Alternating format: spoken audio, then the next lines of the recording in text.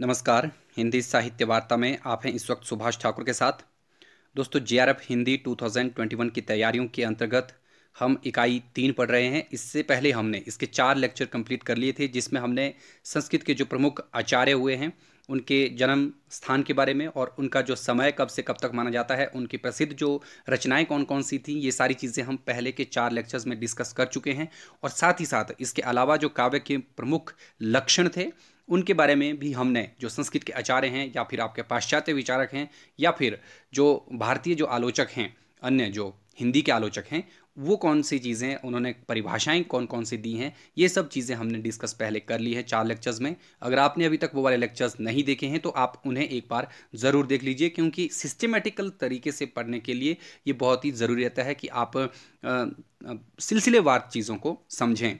तो आज हम इसका जो फिफ्थ पार्ट है, वो लेके आए हैं, जिसमें हम काव्य हेतु या काव्य के जो कारण हैं प्रमुख, उनके बारे में डिस्कस करेंगे कि कौन से विद्वान या कौन से आचार्य किस कारण को मानते हैं कि ये काव्य का हेतु है या काव्य का कारण है।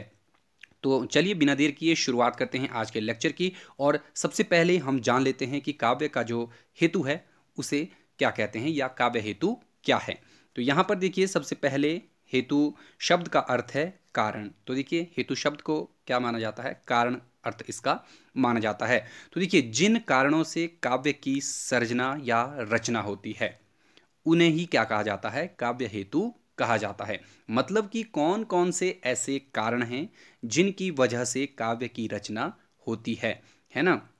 तो उसके ही उसे ही क्या कहा जाता है? काव्य हेतु कहा जाता है। तो ये चीज़ कई बार आपसे पूछा जा सकता है कि काव्य हेतु किसे कहते हैं। तो मतलब सिंपल सा है कि जिन कारणों से कविता या काव्य या साहित्य की रचना होती है या उसकी सर्जना होती है, एक ही चीज़ है, उसे ही हम क्या कहते हैं, काव्य हेतु कहते हैं। और इस संदर्भ में जो सबसे महत्वपूर्ण परिभाषा है वो किसकी है? बाबू गुलाब राय की है। मैक्सिमम पुस्तकों में आपको ये मिल जाएगी। तो यहाँ पर देखिए ये क्या कहते हैं कि आपके जो हेतु का अभिप्राय उन साधनों से है जो कवि की काव्य रचना में सहायक होते हैं। तो देखिए ऐसे साधन जो कवि की आपकी जो काव्य रचना है, उसमें सहायक सिद्ध होते हैं, उन्हें ही क्या कहा जाता है? काव्य हेतु कहा जाता है। तो देखिए, कविता को करने के लिए कौन कौन सी सहायक चीज़ें हैं? जैसे आपके पास टैलेंट होना चाहिए, है ना? आपके पास तर्क शक्ति होनी चाहिए, बुद्धि होनी चाहिए, ज्ञान होना चाहिए। ये जो सारी चीज़ें हैं, उसकी प्रैक्टिस होनी चाहिए आपको लगातार। ये सब की सब चीज़ें किसमें आती हैं आपके? काव्य हेतु के अंतर्गत आती हैं। ठीक है? तो ये बाबू गुलाब राय की परिभाषा है, बहुत महत्वपूर्ण है, इसको मैंने यहाँ पर रख दिया है। आगे कहते हैं कि देखिए, संस्कृत काव्य शास्त्र में मुख्यतः तीन काव्य हेतुओं को ही माना गया है। तो देखिए, अगर हम बात संस्कृत काव्यशास्त्र की करें तो मेनली जो काव्य हेतुओं के ऊपर सबसे अच्छी बात कही है, वो संस्कृत काव्यशास्त्र में या जो आपका भारतीय काव्यशास्त्र है, उसमें ही कही गई है। है ना? तो उन्होंने कितने हेतु माने हैं, कितने कारण माने हैं काव्य की रचना के, वो हैं आपके तीन प्रमुख कारण। ठीक है? पहला इसमें आता है, देखिए, प्रतिभा। तो प्रतिभा का मतलब सीधा सा टैलेंट से है, आपके हुनर से है है ना? कि आप में कितना ज़्यादा हुनर है। तो प्रतिभा अगर नहीं होगी तो काव्य की सर्जना बिल्कुल नहीं हो सकती। मैक्सिमम जितने भी आपके विद्वान हुए हैं, चाहे संस्कृत के हो, चाहे पाश्चात्य हो, या फिर आपके हिंदी के जो विद्वान हो, उन्होंने प्रतिभा को ही ज़्यादातर तवज्जो या महत्व दिया हुआ है, क्योंकि प्रतिभा के अभाव में हम कोई भी काम नहीं कर सकते, बात चाहे साहित्य रचना की ही हो, चाहे फिर किसी दूसरी चीज़ की ही हो, है ना? कि आपके पास प्रतिभा का होना बहुत ज़रूरी है। फिर उसके बाद जो दूसरी चीज़ आती है, देखिए, ये है आपका व्युत्पत्ति। तो व्युत्पत्ति का मतलब है कि मान लीजिए आपके पास टैलेंट तो है, लेकिन आपके पास तर्क शक्ति नहीं है, आपके पास उचित अनुचित का भेद आप नहीं कर पा रहे हैं तो आपकी जो टैलेंट है, वो कहीं ना कहीं पीछे रह जाता है। तो इसलिए ये मानते हैं कि काव्य रचना के लिए सिर्फ़ प्रतिभा का होना अनिवार्य नहीं है। इसके साथ ही साथ कुछ लोग मानते हैं कि क्या होनी चाहिए, आपके पास व्युत्पत्ति होनी चाहिए, उसको आप बहुज्ञता भी कहते हैं, है ना? उसको आप पांडित्य भी कहते हैं। ये चीज़ें किसके अंतर्गत आती हैं? आपकी व्युत्पत्ति के अंतर्गत आती हैं, जो दूसरी महत्वपूर्ण चीज़ है या दूसरा महत्वपूर्ण जो कारण या हेतु माना जाता है काव्य का नेक्स्ट है, देखिए तीसरा, अभ्यास। तो अभ्यास से तो आप सब लोग जानते हैं कि जब हम किसी कार्य को लगातार निरंतरता के साथ करते रहते हैं और सी धीरे धीरे हम उस चीज़ को सीखते हैं इसी को हम क्या कहते हैं कि अभ्यास। तो कविता में भी ये चीज़ देखने को मिलती है कि जिस तरीके से हम कोई दूसरा काम करते हैं, उसमें हम पहले एकदम से निपुण नहीं होते हैं तो निपुणता लाने के लिए ही हमें अभ्यास की ज़रूरत पड़ती है और ये काव्य हेतु का जो तीसरा प्रमुख कारण माना जाता है, काव्य का है ना? तो इसलिए ये जो तीन चीज़ें हैं, ये बहुत ही महत्वपूर्ण हैं। इनमें से जो सबसे ज़्यादा इंपॉर्टेंट है, वो है आपका प्रतिभा। प्रतिभा के बिना आप कर ही नहीं सकते काव्य की रचना। इसके अलावा और भी हैं चीज़ें कि अगर मान लीजिए आपके पास प्रतिभा और व्युत्पत्ति के चलते ही आपकी काव्य रचना नहीं हो पा रही है तो कुछ अन्य जो, जिनको हम कविता की प्रवृत्ति कहते हैं, काव्य प्रवृत्तियाँ, ठीक है? तो वो हम आगे विस्तार से जानेंगे कि वो चीज़ें भी क्या हैं? तो एक और चीज़ आपके लिए है कि जो चीज़ मैं यहाँ पर पढ़ा रहा हूँ, अगर आपको इसका पीडीएफ चाहिए होगा तो आप हमारे टेलीग्राम ग्रुप के साथ जुड़ सकते हैं। डिस्क्रिप्शन में आपको उसका लिंक दे दिया जाएगा और बहुत सारी चीज़ें ऐसी होती हैं कई बार जो हमसे छूट जाती हैं। यहाँ पर हम उसको माइंड में हमसे स्किप हो जाती है हमारे माइंड से बताते बताते। तो उन चीज़ों को हम क्विज़ के ज़रिए जो अपने टेलीग्राम ग्रुप है, वहाँ पर क्विज़ के ज़रिए उनको रिकलेक्ट करने की कोशिश करते हैं। तो आप चाहें तो हमारे टेलीग्राम ग्रुप के साथ जुड़ सकते हैं। डिस्क्रिप्शन में आपको उसका लिंक दे दिया जाएगा। चलिए, ये तो बात होगी काव्य हेतु के बारे में कि काव्य हेतु क्या हैं। और एक और महत्वपूर्ण चीज़ यहाँ पर यह है कि जो आपके काव्य हेतु है, देखिए, सबसे पहले जो इनका विचार कहाँ पर किया गया है, ये आपके अग्नि पुराण में किया गया है। तो हमने पहले भी आपको बात कही थी कि जो आपका काव्य शास्त्र है या साहित्य शास्त्र है, इसकी जो प्राचीन या फिर आपको जो काव्य लक्षण कहाँ पर दिए गए थे, वो भी अग्नि पुराण में ही दिए गए थे। ठीक है? हालाँकि जो आपके भरत मुनि हुए हैं, उन्होंने उस पर बात नहीं की है। उन्होंने स्टीक हुई परिभाषा नहीं दी है। अग्नि पुराण में ही हमें प्रथम परिभाषा मिलती है काव्य लक्षणों की। तो ये दूसरी चीज़ है कि इसमें क्या है? आपका जो इसका विचार किसका किया गया है? आपके काव्य हेतुओं का, वो भी अग्नि पुराण में ही सबसे पहले किया गया है। है ना? तो ये महत्वपूर्ण चीज़ें थी। अब हम देख लेते हैं कि काव्य हेतु के अंतर्गत आने वाली जो प्रमुख आचार्य हैं, वो किस चीज़ को काव्य का प्रमुख हेतु मानते हैं? तो यहाँ पर देखिए, सबसे पहले एक तरफ़ हमने प्रस्तुता आचार्य लिखे हैं कि जो कौन सा आचार्य है, वो किस चीज़ को मानता है काव्य का हेतु और उसकी परिभाषा क्या है? तो इस तरीके से ही प्रश्न पूछे जाते हैं कि आपके जो कौन से विचारक ने कौन से चीज़ को काव्य का हेतु या काव्य का कारण माना है। ठीक है? फिर उनकी परिभाषा को भी कई बार मिलान के लिए होगा, देखा होगा आपने किस तरीके से प्रश्न बनने की संभावना रहती है। तो वो चीज़ मैंने आपके लिए यहाँ पर रख दी है, एक चार्ट के ज़रिए। देखिए, यहाँ पर सबसे पहले भामा है। देखिए, भामा का जो समय है, ये कब था? भामा छठी शताब्दी के आसपास विद्यमान थे और इनकी जो प्रसिद्ध रचना थी, वो कौन सी थी? वो काव्य अलंकार थी, ठीक है? और काव्य अलंकार में कौन कौन सी चीज़ें महत्वपूर्ण थी, वो हम पहले डिस्कस कर चुके हैं। आप उसको एक बार ज़रूर देखते रहिएगा, क्योंकि ये चीज़ें बार बार पढ़ने से ही याद रहती हैं। ऐसा नहीं है कि आपने आज पढ़ दिया, फिर उसके बाद आपने छोड़ दिया। आगे दौड़, पीछे चौड़ वाला काम नहीं करना है। जो चीज़ आप पहले पढ़ रहे हैं, उसको आप एक बार फिर से पढ़िए, तभी आप जो है आगे की चीज़ को कंटिन्यूटी के साथ कर सकते हैं। तो है देखिए, वो क्या मानते हैं काव्य हेतु को? प्रतिभा। तो इनका मतलब मानना ये है कि जो आपका काव्य है, उसका जो प्रमुख कारण है, वो आपकी प्रतिभा है, टैलेंट है है ना? आगे ये क्या कहते हैं, देखिए, काव्यम तू जायते जातु कस्यचित प्रतिभावत। तो कहने का मतलब इनका क्या है कि आपका जो काव्य है, वो क्या बोलते हैं ये, देखिए, कि किसी किसी प्रतिभाशाली में ही काव्य कभी कभी स्फुरित होता है।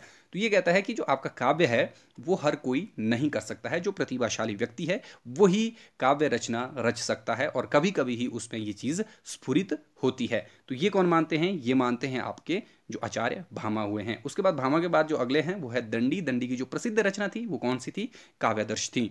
तो काव्यदर्श में देखिए, इन्होंने क्या चीज़ कही है? आप ये कहते हैं कि तीन जो महत्वपूर्ण चीज़ें हैं काव्य हेतु के अंतर्गत, प्रतिभा शास्त्र ज्ञान और अभ्यास। तो देखिए, जो चीज़ हम पहले पढ़ रहे थे, जो आपका प्रतिभा, व्युत्पत्ति और अभ्यास तो लगभग उन्हीं चीज़ों को इन्होंने फोकस किया है। सबसे पहली चीज़ प्रतिभा, उसके बाद ये कहते हैं कि शास्त्र का ज्ञान भी आपको होना चाहिए, शास्त्र का कि उसमें क्या चीज़ें हैं, तर्क शक्ति वाली जो बात मैं पहले कह रहा था, वो चीज़ मानते हैं आचार्य दंडी। तो इन्होंने देखिए कौन सी परिभाषा दी है, नैसर्गिक चौ प्रतिभा, श्रुतम चौ बहु निर्मलम। तो आप चाहें तो इसको यहीं तक याद रख सकते हैं, कई बार परीक्षा में इतना ही पूछा जाता है, कई बार आगे तक भी पूछा जा सकता है तो ये चीज़ एक ही है, आप इसको याद कर लीजिएगा, ये वाली परिभाषा भी। नेक्स्ट देखिए, आचार्य वामन हुए हैं, इन्होंने क्या माना है, लोक व्यवहार, या जिसको लोक व्यवहार कहते हैं, या फिर विद्या और प्रकीर्ण, ये तीन चीज़ इन्होंने मानी है, काव्य लक्षण सॉरी, काव्य प्रतिभा के अंतर, सॉरी, काव्य हेतु के अंतर्गत, ठीक है? तो इनकी जो प्रसिद्ध परिभाषा है देखिए, लोको विद्या प्रकीर्ण से काव्यांगनी। तो देखिए, आचार्य जो वामन हुए हैं, इन्होंने सबसे पहले क्या है? काव्यांग शब्द का प्रयोग किया है। देखिए, यहाँ पर लिखा है काव्यांगनी ना?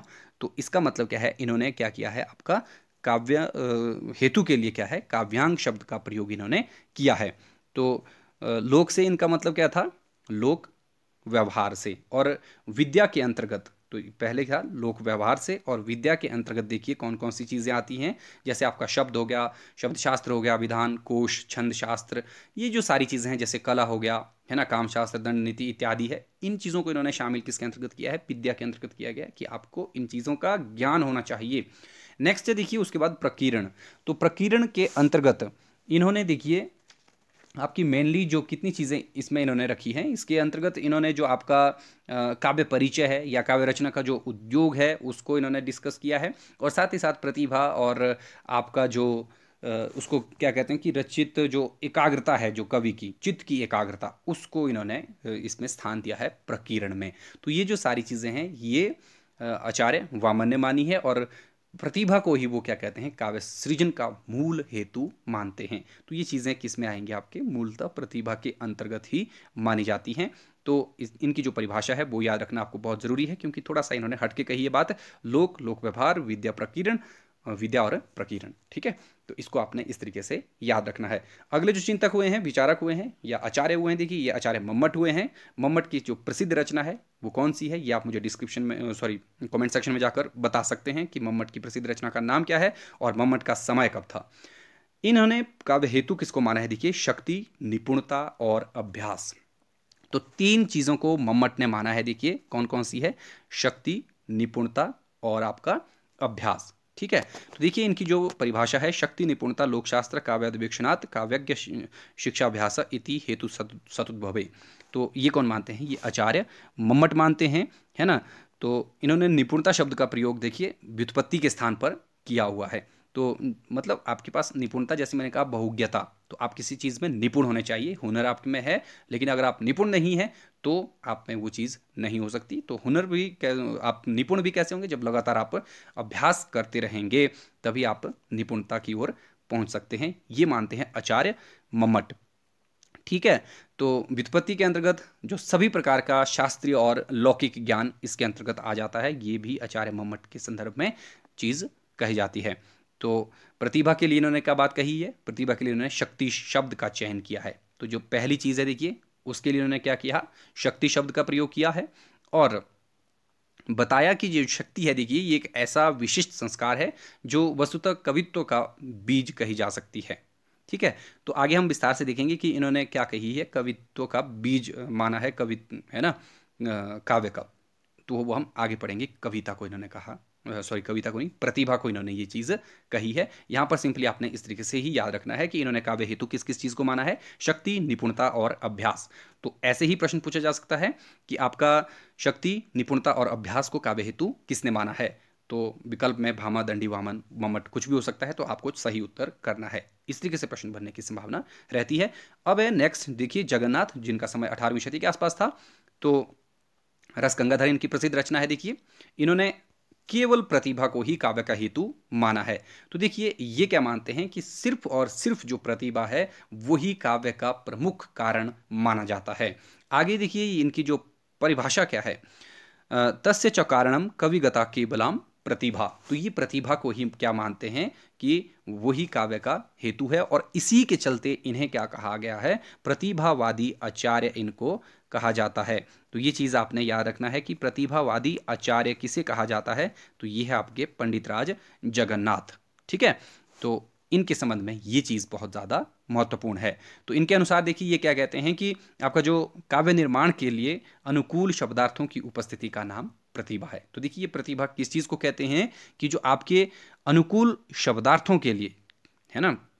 शब्दार्थों की जो उपस्थिति है है ना? काव्य के निर्माण के लिए, उसी को इन्होंने क्या माना कि वही प्रतिभा है। आगे हम विस्तार से देखेंगे कि प्रतिभा के लिए कौन सा विद्वान क्या चीज़ कहता है और अलग अलग अलग तरीके से इन्होंने प्रतिभा को व्याख्यायित किया है। तो यहाँ पर मेनली जो प्रमुख संस्कृत के आचार्य थे, वो किन किन चीज़ों को काव्य का प्रमुख हेतु, काव्य का प्रमुख कारण मानते हैं, वो चीज़ मैंने आपके बीच में रख दी है। इसके अलावा अन्य विद्वान हो सकते हैं, उन्होंने बहुत सारी चीज़ें कही हैं।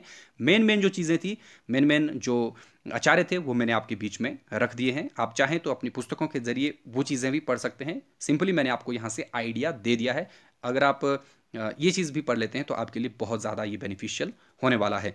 चलिए, अब हम देख लेते हैं आपकी जो काव्य के हेतु के अंतर्गत जो पहला हेतु माना जाता है, पहला जो कारण माना जाता है, वो कौन सा है? वो प्रतिभा है। तो इसके बारे में हम जान लेते हैं कि प्रतिभा के संबंध में आचार्य क्या कहते हैं। देखिए, प्रतिभा का स्थान सबसे ऊपर है या सर्वोपरि माना जाता है कि अगर आपके पास टैलेंट ही नहीं होगा, आपके पास प्रतिभा नहीं है, हुनर नहीं है तो आप कुछ भी नहीं कर सकते।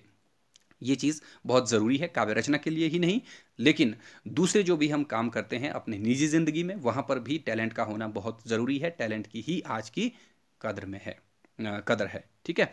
तो महिम भट्ट इसे कवि का तृतीय नेत्र कहते हैं। तो देखिए, ये वाली स्लाइड आपके लिए बहुत ज़्यादा महत्वपूर्ण है, क्योंकि यहाँ से हो सकता है प्रश्न बन जाए कि आपका जो काव्य हेतु के अंतर्गत आने वाली प्रतिभा है, उसको किस विद्वान ने क्या चीज़ कहा है? तो सबसे पहले यहाँ पर महिम भट्ट आ गए तो इन्होंने क्या चीज़ कही?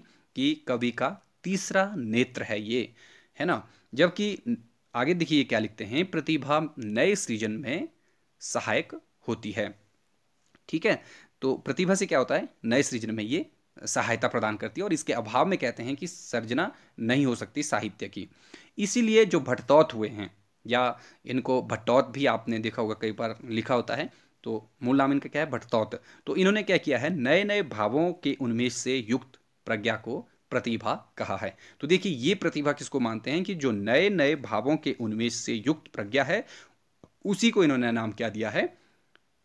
प्रतिभा का नाम दिया है। तो ये कौन मानते हैं? ये मानते हैं आपके भट्टौत नेक्स्ट है, देखिए, आचार्य मम्मट काव्य प्रकाशन की प्रसिद्ध रचना है। चलिए, मैं आपको बता देता हूँ। तो यहाँ पर देखिए, इन्होंने क्या किया है? प्रतिभा को काव्य का बीज माना है, जो चीज़ मैंने पहले ही आपको कह दी थी, थोड़ी सी हिंट मैंने आपको दे दी थी कि काव्य का बीज किसने माना है? ये आचार्य मम्मट ने माना है। ठीक है, जबकि जो कुंतक हैं, देखिए, जिनका वक्रोक्ति संप्रदाय रहा है, वो क्या मानते हैं? ये मानते हैं कि प्रतिभा उस शक्ति को माना है, जो शब्द और अर्थ में अपूर्व सौंदर्य की सृष्टि करती है। तो देखिए, शब्द और अर्थ में अपूर्व सौंदर्य की सृष्टि कर, सृष्टि करती है। ये कौन मानते हैं? ये मानते हैं जो आपके आचार्य कुंतक हुए हैं, उन्होंने ये चीज़ मानी है। तो ये वाली स्लाइड में हमने देखा कि अलग अलग तरीके से अलग अलग विद्वानों ने व्याख्यायित किया है प्रतिभा के बारे में। तो इसके अलावा डॉक्टर नगेंद्र ने भी कुछ चीज़ें कही हैं। आपका जो आचार्य रामचंद्र शुक्ल हुए हैं, उन्होंने भी बहुत सारी चीज़ें कही हैं तो वो भी आप एक बार ज़रूर देख लीजिएगा। चलिए, अब हम देख लेते हैं इसके बाद आगे जो राजशेखर हुए हैं, पंडित राजशेखर, वो क्या कहते हैं? तो ये देखिए, जो शब्दों के समूहों को, अर्थों के समुदाय को अलंकारों एवं उक्तियों को तथा अन्य नए काव्य सामग्री को हृदय के भीतर प्रतिध्वनित करती है, उसे प्रतिभा कहते हैं। तो देखिए, इन्होंने बहुत सारी चीज़ें इसमें समाहित कर ली कि शब्दों के समूह और अर्थों के समुदाय। कि आपके पास शब्द और अर्थ, इन दोनों चीज़ों का तो हमने पहले ही काव्य लक्षण में पढ़ लिया था कि शब्दार्थो सही तो काव्यम। ये चीज़ भी ज़रूरी है आपके काव्य लक्षण के लिए या काव्य के लिए। तो यहाँ पर इन्होंने ये चीज़ रखी है एक बार फिर से कि शब्दों के समूहों को, अर्थों के समुदायों को और अलंकारों और उक्तियों को है ना?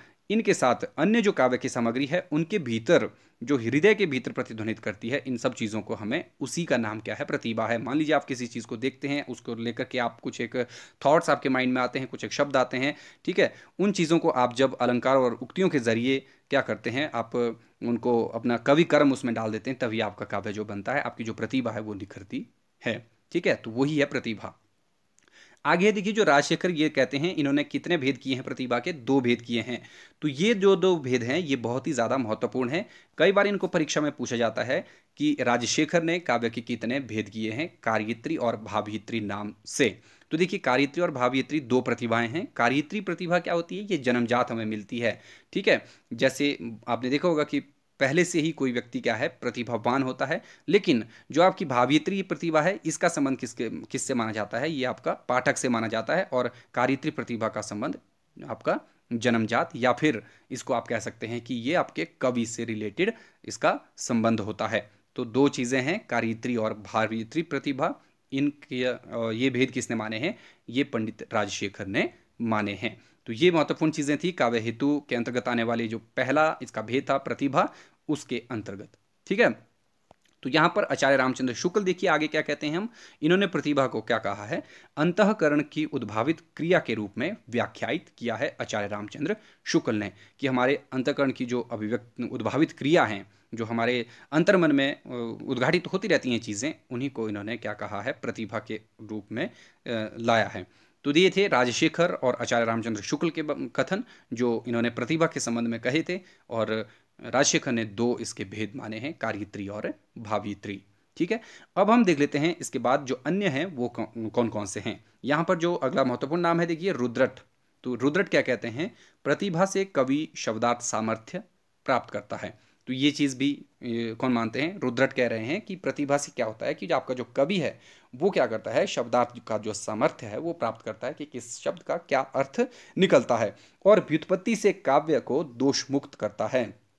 देखिए व्युत्पत्ति मतलब बहुज्ञता आपका जो आ, मैंने पहले भी कहा था आपका पांडित्य जिसको कहते हैं ठीक है? आपकी निपुणता जिसको कहा जा सकता है उससे वो क्या करता है? उसको दोष मुक्त कर देता है है ना?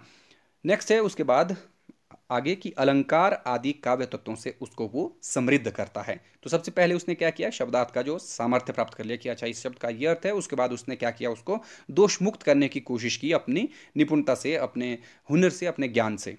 ठीक है, जो उसके पास बहुज्ञता थी। और उसके बाद अलंकारों इत्यादि में अपना कवि कर्म उसने झोंक के उसको क्या कर दिया? काव्य के तत्वों को समृद्ध कर दिया और काव्य रचना रची, उसको सृजित कर दिया। तो ये रुद्रट मानते हैं आपका काव्य हेतु के संदर्भ में या प्रतिभा के संदर्भ में इन्होंने ये चीज़ कही है। तो इन्होंने, आगे देखिए, इन्होंने भी दो भेद किए हैं, लेकिन इनके भेद का नाम क्या है? सहजा और उत्पाद्य है। तो देखिए, सहजा, उत्पाद्य, कार्यत्री, भावित्री। ये नाम किससे है? मिलान के लिए आ सकता है कि इस तरीके से पूछा जा सकता है। सहजा और उत्पाद्य होगा तो वो रुद्रट ने दिया है। तो देखिए, सहजा, नाम से ही पता चल रहा है, जो सहज हैं, जो ईश्वरीय शक्ति है, जो जन्मजात मिली है किसी व्यक्ति को, उन्हें ही कहा जाता है सहजा आपका प्रतिभा। दूसरी होती है उत्पाद्य, जिसको हम किसी समाज से सीखते हैं या किसी दूसरे व्यक्ति या जो हम खुद सीखते हैं, उसको कहते हैं उत्पाद्य। ठीक है? और उत्पाद्य, देखिए, सहजा ईश्वरीय शक्ति है और उत्पाद्य शास्त्रानुलोक अनुभव और सत्संग से प्राप्त होती है। मतलब जो हम सीखते हैं, जो हमें जन्मजात नहीं मिली है, जो हमने संघर्षों में सीखा है, वही आती है आपकी उत्पाद्य आपकी प्रतिभा के अंतर्गत। तो ये दो चीज़ें हैं रुद्रट के अनुसार। आगे देखिए हेमचंद्र। हेमचंद्र क्या कहते हैं? प्राकृत का पाणिनि ने कहा जाता है, ठीक है? तो इनकी जो प्रसिद्ध रचना है, कौन सी है? काव्य अनुशासन है है ना? तो इसमें इन्होंने क्या, कौन सी चीज़ कही है? देखिए ये कहते हैं कि प्रतिभा को काव्य हेतु तथा उत्पत्ति और अभ्यास को उपकारक माना है। उन्होंने प्रतिभा के दो भेद किए हैं। तो देखिए, दो भेद उन्होंने कौन कौन से किए हैं? सेम जैसे आपके रुद्रट थे, वही इन्होंने माने हैं। थोड़ा सा इन्होंने नाम चेंज कर दिया है। तो सहजा को जन्मजात, आगे ब्रैकेट में लिख भी दिया है। और औषधि की जो आपकी उत्पाद्य थी, उसको इन्होंने सिर्फ़ औषधि की नाम दिया है मतलब जो हम श्रम से प्राप्त करते हैं, संघर्ष से प्राप्त करते हैं, जो हम सीखते हैं, ठीक है? वो आपकी किसमें आती है? वो औषधि की प्रतिभा के अंतर्गत आती हैं। तो यहाँ पर देखिए, रुद्रट और हेमचंद्र की थी, पीछे हमने राजशेखर, रामचंद्र शुक्ल की जो परिभाषाएँ, या फिर जो प्रतिभा के संबंध में उनके विचार थे, वो रखे। इसके अलावा अन्य विद्वानों ने भी बहुत सारी चीज़ें कही हैं। आप चाहें, आपके पास जो भी पुस्तकें हैं, आप उनसे उन चीज़ों को पढ़ सकते हैं। चलिए, अब हम देख लेते हैं इसके बाद कि जो काव्य हेतु प्रतिभा के अलावा भी हुए हैं और प्रतिभा के अंतर्गत बहुत सारे विद्वान आपके ऐसे भी हुए हैं जिन्होंने अन्य चीज़ें भी कही हैं, ठीक है? जैसे आपके जो जयदेव थे, है ना? जिनकी प्रसिद्ध जो रचना है, देखिए चंद्रालोक है, उस, उन्होंने उसमें जो प्रतिभा को, काव्य का कारण, व्युत्पत्ति और जो आपका दूसरा आता है अभ्यास, ये इन्होंने माने हैं, है ना? तो ये काव्य के हेतु हो सकते हैं। इसके अलावा आनंदवर्धन ने भी कुछ एक चीज़ें कही हैं तो आप उनको भी एक बार ज़रूर देख लीजिएगा। जैसे आनंदवर्धन मानते हैं कि ये जो व्युत्पत्ति और प्रतिभा है, ये दोनों का काव्य हेतु है, काव्य हेतु हैं ये दोनों, ठीक है? और लेकिन इसमें ये मानते हैं कि जो प्रतिभा है, उसका विशेष महत्व है, ये कौन मानते हैं? ये आनंदवर्धन मानते हैं। तो यहाँ पर ये तो होगी बात प्रतिभा की, कि प्रतिभा के संदर्भ में अलग अलग आचार्यों ने अलग अलग चीज़ें कही हैं। तो अब हम देख लेते हैं कि जो दो हमारे और थे, जैसे हमने काव्य हेतु में सबसे पहले प्रतिभा को लिया था, उसके बाद जो व्युत्पत्ति और अभ्यास है, उसके संदर्भ में क्या कहा जाता है। हालाँकि हम पहले ये चीज़ बता चुके हैं कि व्युत्पत्ति देखिए, विभिन्न काव्यों, शास्त्रों और लोक व्यवहारों से प्राप्त किए गए ज्ञान को व्युत्पत्ति कहते हैं। ठीक है? तो देखिए, ये देखिए कि जो आपका काव्य, शास्त्रों और लोक व्यवहारों से प्राप्त किया गया जो हमारा ज्ञान है है ना? पहले तो आप हमारे पास हुनर है, उस हुनर के ज़रिए हमने क्या किया? ज्ञान को ग्रहित किया एक तरीके से। है ना? संचय किया उसका। ठीक है? समझा उस चीज़ को। उसको ही क्या नाम दिया? व्युत्पत्ति दिया। और इसी से इसका अर्थ बहुज्ञता और प्रगाढ़ पांडित्य भी लिया जाता है। तो ये चीज़ मैंने आपको पहले ही डिस्कस कर दी थी। व्युत्पत्ति और अभ्यास में राजशेखर बहुत महत्वपूर्ण है और इन्होंने दोनों बार इसमें कुछ ना कुछ चीज़ें कही है। तो राजशेखर ने उचित अनुचित के विवेक को ही व्युत्पत्ति कहा है कि मान लीजिए आपके पास हुनर तो है, लेकिन अगर आपके पास तर्क करने की शक्ति, उचित और अनुचित को समझने की शक्ति नहीं है तो आपका हुनर क्या है? वो व्यर्थ है कहने का मतलब इनका ये है कि व्युत्पत्ति क्या है? उचित और अनुचित को समझने में आपकी समझ कितनी है? वो है आपका व्युत्पत्ति। आगे है देखिए अभ्यास। तो काव्य रचना के लिए निष्ठापूर्वक बार बार किए जाने वाले प्रयत्नों को, प्रयत्नों की जो अखंड श्रृंखला ही अभ्यास है। जैसे यहाँ तेरह हो गया है, इसमें राज ही होगा राजशेखर के अनुसार देखिए क्या है, निरंतर प्रयास प्रयास करते रहने को ही क्या कहा जाता है, अभ्यास कहा जाता है। तो ये तो आप सब लोग समझते हैं कि काव्य रचना, ये ना सिर्फ़ काव्य रचना बल्कि जो दूसरा काम भी है, उसको भी हम निरंतरता के साथ करते रहेंगे बार बार उसका अभ्यास करेंगे, तभी साहित्य की जो रचना, तभी अन्य जो हमारा काम हम कर रहे हैं, उसको सही तरीके से हम कर सकते हैं। जैसे हम यूजीसी नेट की अगर कॉन्टीन्यूटी में अभ्यास करते रहेंगे, तभी हम पढ़ते रहेंगे, उसको अच्छे से समझते रहेंगे कि किस चीज़ में कौन सी चीज़ वर्णित है, ठीक है? तो इसलिए जो प्रतिभा, व्युत्पत्ति और अभ्यास, ये तीन मुख्य कारण माने जाते हैं काव्य के। इनके चलते ही काव्य का रचना होती है, ठीक है? लेकिन कुछ एक कारण ऐसे भी होते हैं, देखिए, जब मान लीजिए आपके पास प्रतिभा, व्युत्पत्ति और इनसे काव्य रचना नहीं हो रही तो कई बार और भी चीज़ें होती हैं, कौन सी हैं, वो हम अब देख लेते हैं। तो देखिए उन चीज़ों को क्या कहा जाता है, उनको कहते हैं हम काव्य की प्रेरक वृत्तियाँ मतलब जो हमें प्रेरित करती हैं। तो कौन कौन सी चीज़ें हैं देखिए इसमें? देखिए, सबसे पहले तो देख लेते हैं कि प्रेरक वृत्तियाँ क्या चीज़ें हैं। देखिए, जहाँ प्रतिभा और व्युत्पत्ति के रहने पर भी काव्य की रचना नहीं हो सकती है, वहाँ काव्य की प्रेरणा देने वाली वृत्तियों से काव्य रचना होती है। देखिए, कई बार क्या होता है कि आपके पास प्रतिभा और व्युत्पत्ति, उससे काव्य रचना नहीं हो रही है। लेकिन आपके पास क्या है कि आप किसी चीज़ को देख के प्रेरित हो रहे हैं, है ना? तो उन्हीं को क्या कहते हैं? प्रेरणा देने वाली वृत्तियाँ या प्रेरक वृत्तियाँ कहा जाता है। ठीक है?